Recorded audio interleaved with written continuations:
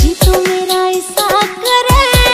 हाँ, जड़ों का खा लूँ